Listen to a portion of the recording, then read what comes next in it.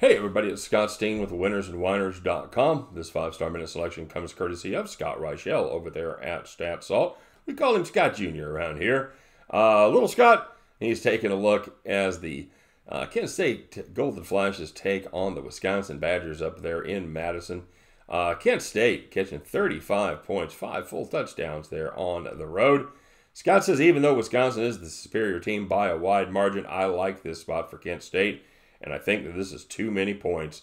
Uh, Wisconsin knows it's going to win this game with relative ease, and it should be able to open up a big lead in the first half. However, a big home game with Michigan State is up next, so the Badgers will definitely look to rest the majority of its key players uh, there in the second half once this game is decided. Plus, Kent State, well, it's coming into this game off a bye week, so I think it should have a pretty solid game plan throughout all four quarters. Uh, this game should end up somewhere in the realm of 42 14. So I'm going to take the points with the road team here. So get yourself down on Kent State Golden Flashes plus 35 points. And at the end of this contest, you can join a new Scott as you pick up your winning tickets and head back to the window. Good luck, everybody. Please don't forget to like and subscribe, and we will see you on the next video.